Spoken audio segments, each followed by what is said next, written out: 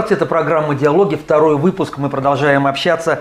Вместе с нами сегодня в студии боец смешанных единоборств, президент Федерации универсального боя России Сергей Харитонов.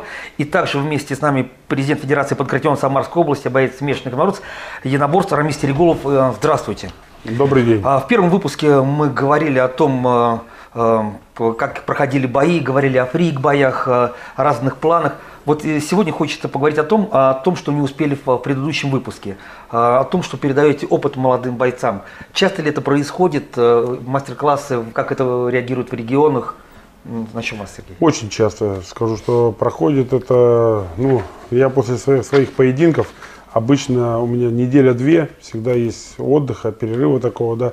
Я стараюсь, конечно, большую, большую часть времени уделить своей семье, но очень много ездим по регионам, например, Э, наверное, в большей степени, как бы не казалось странно, да, я езжу в Владивосток, Хабаровск, вот на Дальний Восток, в ту, в ту сторону, Иркутск, там провожу много мастер-классов, э, честно, э, вот я удивлен стремлением тех ребят, казалось бы, где-то далеко, там, да, вот от Москвы, мне, я никогда не думал, что такое огромное количество людей занимается нашим, нашим видом спорта.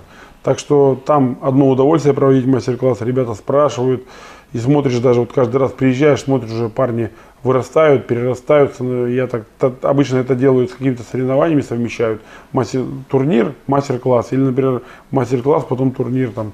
А, в общем, ездим, видим, как ребята растут, повышают свои определенные какие-то физические, там, э, технические навыки растут, вырастают, уже приезжали, вот недавно он у меня там на мастер-классе был, сегодня смотришь, у него уже чемпионский пояс. Это приятно очень, вдвойне, да. А так ездим и по регионам, и много и на Кавказе бываем, и в средней полосе, и э, в общем, по всей России, по возможности, где есть друзья, где приглашают, э, вот, по возможности ездим, приезжаем, проводим. Вот, и вместе с Рамисом тоже неоднократно проводили. Кстати, мы в Кабардино-Балкарии проводили, да. в Карачаево-Черкесии вместе. Также вот мастер-классы проводили, прошлый год проводили мастер-класс, так что... Ну а в Самаре, Рамис, если вот тебе... В Самаре тоже проводили вместе, мы вообще познакомились ну, да, когда-то... В как в Тольятти, в Тольятти мы проводили да, первый да. мастер-класс, Рамис, наверное, какой 2007-2008 год был, да, где-то? Восьмой, да. Восьмой, седьмой, я помню, что седьмой-восьмой год вместе проводили. Я в Сочи вот сейчас проводил мастер-класс для самбистов, да, очень отрадно. Э, мне было вот приятно после мастер-класса, дети все слушали, да, и вот не хотел эту тему затрагивать, но ко мне подошел Э, молодой спортсмен, юный такой, кстати, тренер сказал, что он подает надежды и сказал, вот я хочу тоже выступать и заняться спортом. Как вы относитесь э, к одному небезызвестному певцу, не хочу просто называть его фильм, фамилию, но все догадались, у него три шестерки набито на голове, ну, на лице. Вот, и он сказал, э, дословно цитирую это, я просто не хочу этого черта слушать, вот как дословно. И мне, знаете, на самом деле приятно стало, что наша молодежь еще не потеряна, просто ими нужно заниматься. И вот мы как раз таки и стараемся, и это делаем. И у нас как бы еще очень много работы. И у Сергея, и у меня как бы на, на нашем поприще, где мы растим вот, и даем возможность молодым спортсменам выступать, очень много работы на самом деле. Ну вот на самом деле вот спорт э, сейчас, да, вот э, бич современности, это интернет, это э, постоянное зависало. Там насколько действительно спорт может помочь подросткам уйти вот от этих, э, я не знаю, там, пагубных привычек э, и всего вот этого негативного, как вы считаете, Рамис? Я считаю, что только спорт и поможет увестись, увести от этого, потому что, знаете, вот как вот э, Сергей и я, мы вместе служили, как бы не вместе, вернее, оба служили в армии, Сергей подольше, чем я, да, у нас была такая пословица, чем бы солдат не занимался, лишь бы он устал как говорится, там немножко другое правда, продолжение. То же самое и здесь. Когда у ребенка слишком много свободного времени, он начинает лазить в интернете, смотреть всякую ну, ерунду э, в группах, которые потом приводят к самоубийству. Мы с вами, кстати, да. обсуждали эту тему, а буквально через неделю два подростка как бы скинулись. Ну, все знают эту как бы историю. То же самое, поэтому ребенка нужно максимально всякими э, секциями, каким-то изучением языков, э, инструменты, ну, где-то на гитаре играет, либо на гармошке. Нужно ребенка чем-то занять. Когда у ребенка много свободного времени, он занимается ерундой. Поэтому я считаю, что и спорт в том числе, он уведет ребенка вот от этой всякой ерунды. Сергей, а в вашей жизни спорт начался в каком возрасте? Подожди, это мне, я вот, наверное, э, у меня отец спортсмен сам, э, тренер по боксу, ну, он строитель сам, сам по своей профессии, да, ну, всегда тренировал после работы там ребят, да. Мама тренер по волейболу, хотя воспитатель детского сада по профессии, да, тоже после работы проводила вечером, вечером с э, тренировки, да.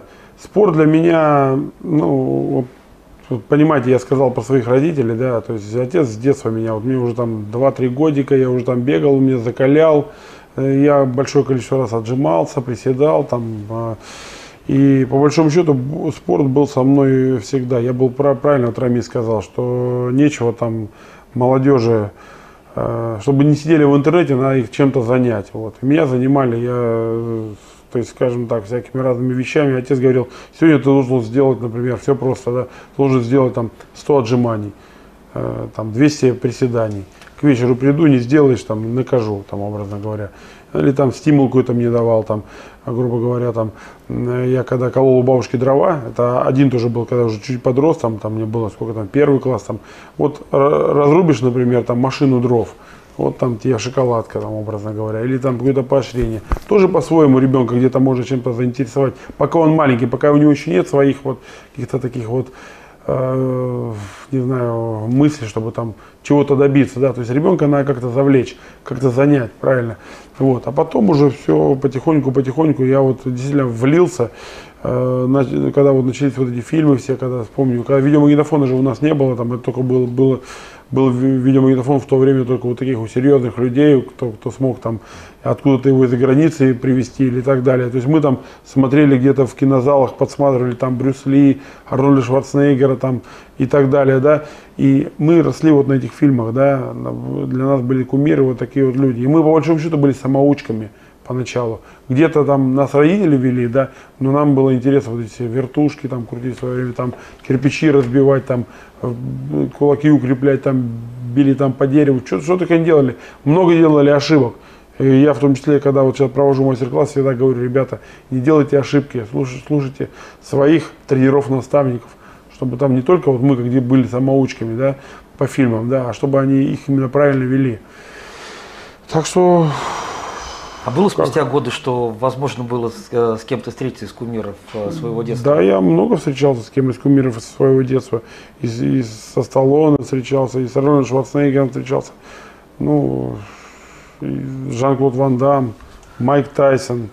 Ну, если перечислять много с кем вот из таких известных людей, удавалось э, как-то в жизни на, на мероприятиях а, вместе быть ну, с кем-то в Америке пересекались, там даже просто, ну, там нет такого, знаете, что там, тут тоже Шварценеггер может спокойно там прийти, вот он в кафе сидит, ну, раз подошел, сфотографировался, все нормально. У нас как бы так, кто такие суперзвезды, они в основном ходят по таким по, по, по заведениям, где простому человеку э, не просто там подойти, сфотографироваться, да.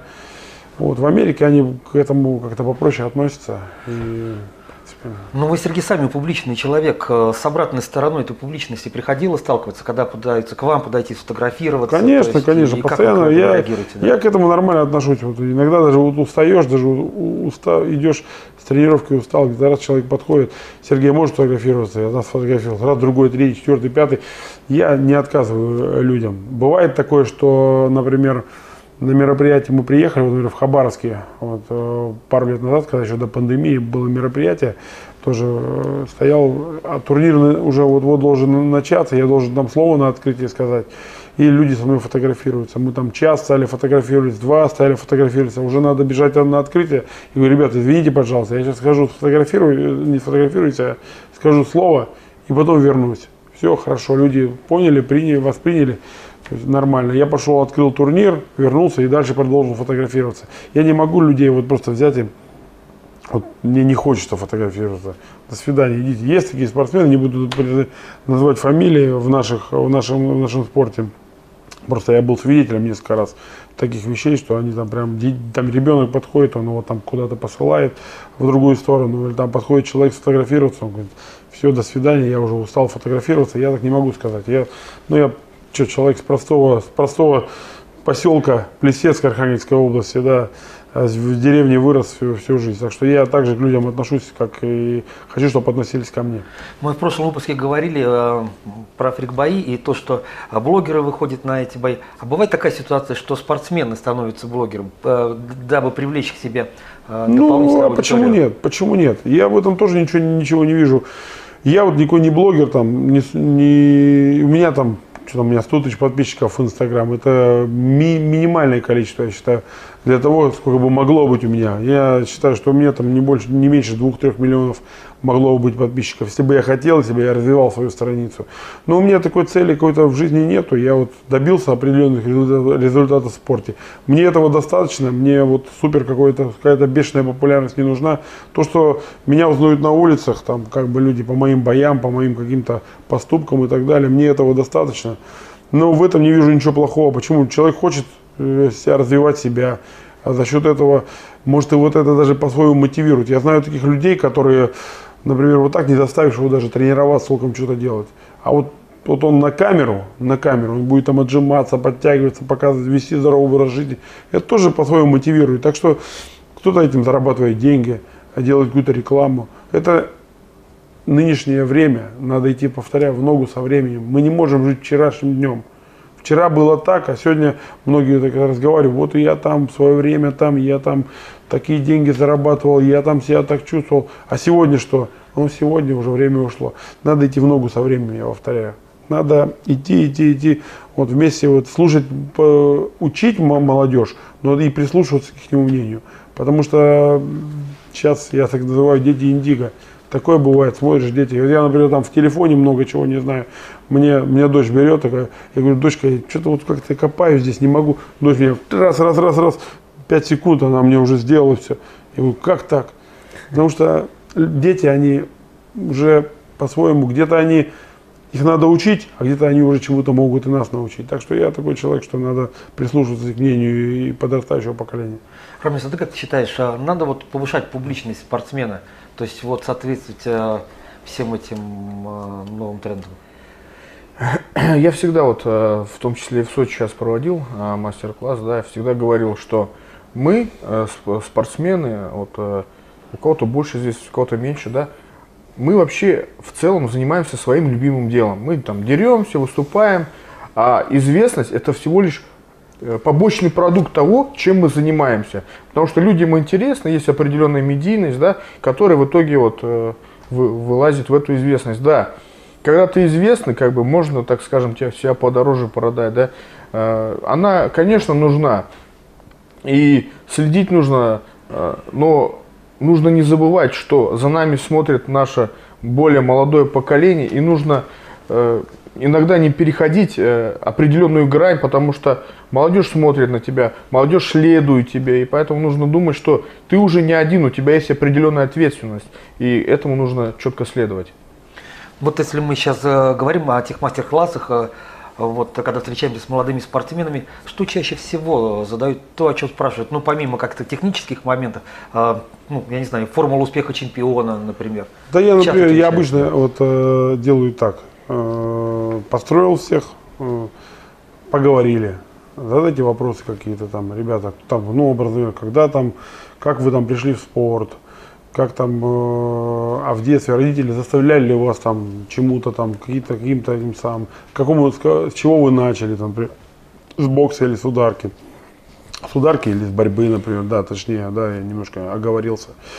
Вопросов на самом деле большое количество. Я стараюсь рассказать свою жизнь, вот рассказать, вот, то есть построил ребят, там, там мастер-классы бывают с разным количеством людей, там 10, 20, 50, 100, там 300 человек, по-разному было, да. Я поговорил, пообщался, а потом приступаю к мастер-классу, э, например, к проведению мастер-класса. Где-то стараюсь, вот мне говорят, Сергей, да не надо, там час, немножко час, полтора, э, там кто-то говорит минут 40, там по проведи мастер-класс, небольшую тренировку, у меня не получается. У меня обычно мастер-класс проходит там 3-4 часа доходит. Потому что начинаешь как бы что-то, хочется ребятам максимально как-то вот это все рассказать, показать, а вот там за 40 минут, там что-то за час ничего не успеешь. Вопросы вот любые, такие же, как вот у всех, я повторяю, там, даже вот подходит, сколько вы зарабатываете, я тоже говорил, это тоже немаловажный вопрос у молодежи. Потому что все хотят, я, я понимаю молодое поколение, они хотят не только как бы, то есть заниматься, э, это тоже стимул определенный, заработок денег. Но я не считаю, что это правильный стимул, ну что сделать? Я повторяю, надо слушать молодое поколение подрастающее, что они хотят, как их замотивировать. Когда-то я вот повторяю в детстве, когда мне я, я, я рассказывал к, в прошлой передаче, да, о том, что вот я там э, колол дрова, там мне отец сказал, там, расколол, расколол, расколол там Э, машину, машину дров-то немало, да, вот тебе шоколадка. Тоже я был мотивирован, да. Я вот сегодня ее раскрою, шоколадку вечером получу. У нынешней молодежи другие ценности. Мы даже, вот э, я смотрю, как я повторяю, наши дети там телефонами там играются, да, я даже, мне, мне у нас дома телефона не было никогда. Мы там, я к соседям ходил, звонил там куда-то надо было позвонить, да, потом уже по, по телефон купили, уже позже. То есть э, раньше тоже, даже это было какая-то, не у всех были телефоны. А сейчас телефон есть вообще, я не знаю, у кого телефона нет. Мне кажется, даже у людей, которые э, даже нигде не работают, даже просто где-то даже на улицах живут, есть такие, у них все равно есть телефон. То есть телефон есть сейчас у каждого человека. Из-за этого как бы надо идти, я повторяю, в ногу со временем. Надо слушать, что хочет, что хочет молодежь. Вот если молодежь хочет прийти в смешанное единоборство, наверное, э, я вот сейчас из старых паттернов, э, пожалуй, рассуждаю, да. Э, должно этому предшествовать какой-то спортивный опыт. Да, у каждого из вас был сначала опыт, там, бокс там, или там борьба, там, или что-то, и потом это вернулось. Либо это сразу все можно начать? Ну, сегодня да. Сегодня это как вид спорта. Да. Смешанное единоборство. Там рукопашный бой, боевое самбо и так далее. Это, это все, это любой, Панкратион, вот Рамис, да, в, трудится в этой сфере, да, то есть любое вот, вот это направление ведет э, рано или поздно к профессиональному спорту, да. Я знаю там некоторые, вот, например, я вот Мэтт Дмитрион, э, боец, я помню, выиграл у него, он такой прям везде. Он вообще с американского футбола пришел. Это вообще американский футболист. Я думаю, что он такой боец был там сам. Он чисто американский футболист. Просто был крепкий физически, бегал там, прыгал там, немножко иногда по мешку стучал где-то. Пришел в UFC, он долгое время был в десятке лучших спортсменов UFC. Сейчас в десятке лучших спортсменов Беллатор.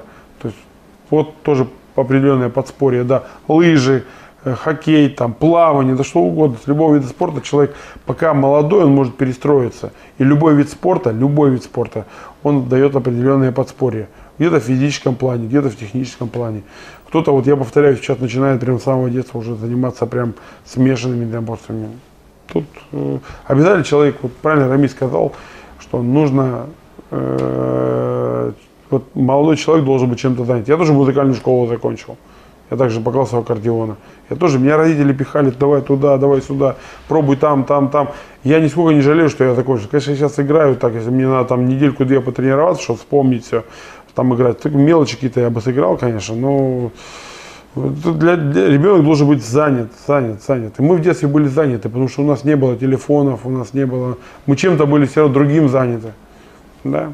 Как-то так. Сейчас хватает времени на что-то другое. Вот тот же момент переключиться там на другой вид спорта. Ну там, я не знаю, то есть там зимой там на лыжах походить там или еще что-то. Да, конечно. Целиком. На лыжах с удовольствием, и на горных лыжах прокачусь, и, и на катке с удовольствием покатаюсь, поплаваю обязательно, футбол поиграю. Вот Рамис, э, Рамис со мной на сборах часто бывает, мы частенько играем. Он бывает устали, устали от всего. Играем в регби, там футбол, играем в какие-то там, ну такие разные, это, это, это обязательно должно быть. Игровые виды спорта вообще должны быть э, в, нашем, в, в нашем виде спорта присутствуют э, такие элементы, э, которые вот связаны как с игровыми видами спорта. Игровые, и, когда занимаешься игры, игровыми видами спорта, более разносторонен, более скажем так, физически развит, потому что они много, много, много чего развивают. Так что это надо не вот некоторые зациклены, например, вот там на одном виде борцы, вот чисто вот есть, вот он именно борется, борется, борется, потом раз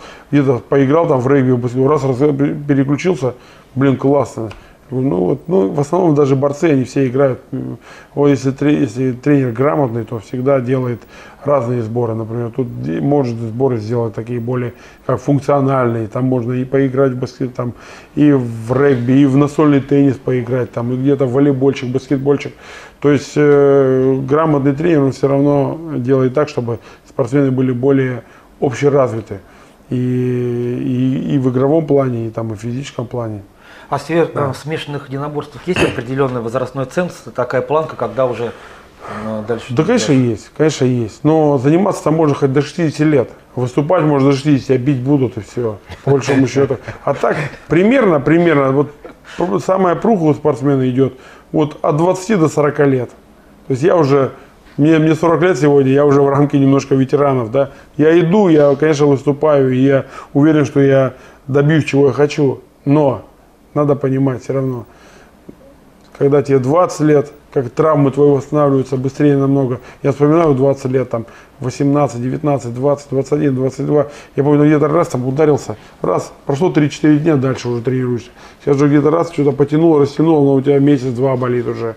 Где-то уже быстрее э, травмы не так, не так быстро восстанавливаются. Мне хочешь, даже- не хочешь, Даже Э, есть информация, что вот вы выиграли даже со сломанной рукой. Со сломанной рукой неоднократно выигрывал. Это она в рукопашке раньше было это очень часто. Раз, раз об эту маску железную дашь, раз там рука, палец сломал, и ты бьешься дальше. Не останавливаешься. А куда? Ты остановишься, ой, палец сломал. Ты уже, все, бой идет, ты где-то в, это, в бою, это уже как бы там понеслась и все. Палец там, руку сломал, ребра там сломали, ногу там отбили, где-то связка там какая-то. Ты бьешься до конца. Ты уже потом уже после боя начинаешь там себя там всякими заморозками там э, таблетками и так далее, перебинтованиями. И даже если бывает раз сломал там что-то где-то, или руку, или растянул связку, раз завтра дальше биться. Все, команда, надо биться. У тебя зависит очень много э, от твоего выступления. Раз перебинтовал и пошел дальше выступать. Это нормально. Среди спортсменов э, говорят, борцы говорят, борцу, э, бо- бо- борцу Не не, больно. больно, борцу, при- борцу приятно. Еще говорят, как борец забарывает свои травмы. Это действительно так. Чем, когда ты вот в молодости, в особенности, получил какую-то травму, когда вот просто отдыхаешь, да, она зарастает. Когда ты тренируешься, может быть, нагрузку не делаешь там на ногу или на руку, а больше тренируешься, у тебя быстрее, потому что кровообращение постоянно, постоянно желание, ты быстрее даже поправляешься, зарастаешь. Так что здесь если к масштабному сейчас э, вернуться Да. к такому то есть, моменту, вот э, на посту президента Федерации, э, Федерации универсального боя России, вот что в планах сейчас уже планируется, какие-то уже есть идеи? Да можно говорить, тут можно дифирамбы петь, что я там, там супер там подниму федерацию, там все у меня будут развивать, а развивать. Начинаем, вот только я вот два дня стал, два дня назад стал президентом. Я не могу сейчас, вот сейчас, вот сейчас я там город сверну. Не бывает, не бывает так. На это я думаю, что уйдет там полгода, год уйдет, чтобы что-то что-то поменять. Я думаю, мне помогут и, э, повторяю, президента Федерации, и не только универсального боя. Вот Рамис, например, является у нас здесь президентом Федерации Панкратиона. Я думаю, что он тоже будем сотрудничать вместе, помогать. И мои где-то ребята, кто там выступает в универсалке, будут в Панкратионе выступать. У него его ребята с удовольствием. Я думаю, я думаю, для, для повышения своих каких-то навыков будут в, универсал, в универсальном бое выступать. Почему? Потому что универсальный бой, он тоже по-своему такой интересный вид спорта. Там у нас присутствует полоса препятствий, в которой там есть и рукоход, там бревно, э, тоннель, этот самый тоннель, да, этот самый, как его, э, метание ножей, стрельба э, из пистолета. То есть это тоже интересно по-своему. Для, для общего развития это тоже очень сильно поможет. Мы даже вот сейчас, мы, многие не говорят, что, что вот на- в нашем виде, виде спорта бойцы, которые выступали, они сейчас выступают в UFC. Например, я, я сам даже не знал этого, что например, Сергей Павлович, да, который сейчас выступает в UFC, он также является чемпионом России, чемпионом мира по универсальному бою. Вот тоже боец, который сейчас от России выступает в UFC. То есть это хорошее также подспорье, как и любой вид спорта, я повторяю. Я пример приводил уже, с американского футбола пришел Метрион и в десятку вошел лучших бойцов UFC. Это же, ну, это же, это же круто. То есть э, можно и американский футбол. Я повторяю, заниматься спортом с легкой атлетики, с тяжелой атлетики, с любого вида спорта можно прийти в наш вид спорта. Главное, чтобы, повторяю, человек был э, шел, стремился, тренировался. Это самое главное. Главное, когда человек, у человека есть цель, он прогрессирует. Когда человек без цели, это уже, ну, нельзя сказать мертвый человек, да, но этот человек уже деградирует. Это логическое завершение нашей программы, когда у человека есть цель, он прогрессирует, он занимается спортом, развивается и идет дальше. А, Может быть, э, что-то хотел Рамис добавить, мы постепенно близимся к финалу. Вот и сегодняшний. Что мне добавить? Сергей сказал все правильно и по делу, так скажем, да, я у, на самом деле Серега может э, уже и начинает осознавать, ему очень много работы предстоит. Я бы хотел бы ему пожелать удачи. А мы, как говорится, чем сможем, всегда готовы ему помочь. И э, Сергей знает, что у нас э, есть уже как бы связи и по, по всей России, по округу. Мы всегда готовы поддержать этот вид спорта. И Огромное спасибо, что нашли время сегодня пообщаться с нами, побывать в этой студии. В завершение э, несколько слов поздравлений телекомпании «СКАТ», которая празднует э, 31-летие.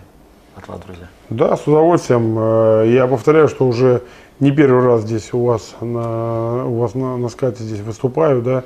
Э, Молодцы. Видно, что уже, как говорится, годами, годами нарабатываете, зарабатываете авторитет. Хотелось бы пожелать вам процветания, чтобы я еще не раз побывал, поприсутствовал на вашей передаче. Там и, э, может быть, по каким-то интересным э, событиям. Может быть, я раз прох- проходил здесь когда чемпионат мира, может мы э, его проведем, ну, может не в этом году, не в следующем, но через год, через два, через три, на протяжении того времени, пока я буду президентом Федерации. Самара отличный, классный город, так что, повторяю, он нам не, скажем так, по большому счету родной город нам. Почему? Потому что, наверное, по-своему где-то отсюда и пошло мое становление. Ну, мое становление пошло с Сочи. Я в Сочи первый раз первый бой провел по ММА, да. Но тем не менее, это чемпионат мира меня, который провел, прошел здесь, тоже меня по-своему здесь подвиг, ст- подтолкнул, да. Здесь я, кстати, стал финалистом чемпионата России по боксу в этом городе. Так что и ваш телеканал СКАТ и город Самара мне очень близки и по духу, и по моим спортивным достижениям. Так что желаю вам никогда не останавливаться на достигнутом. Как я всегда говорил, идти только вперед. А я всегда рядом, всегда готов к вам прийти на интервью. Я думаю, Рамис меня поддержит. Всегда. Да. Давай еще несколько. Для меня вообще в этом в регионе Самарской области это телеканал номер один. Все анонсы только здесь никакие больше телеканалы. То же самое, как бы поддерживаю слова Сергея, да, процветание и только вперед, как Сергей не скажет.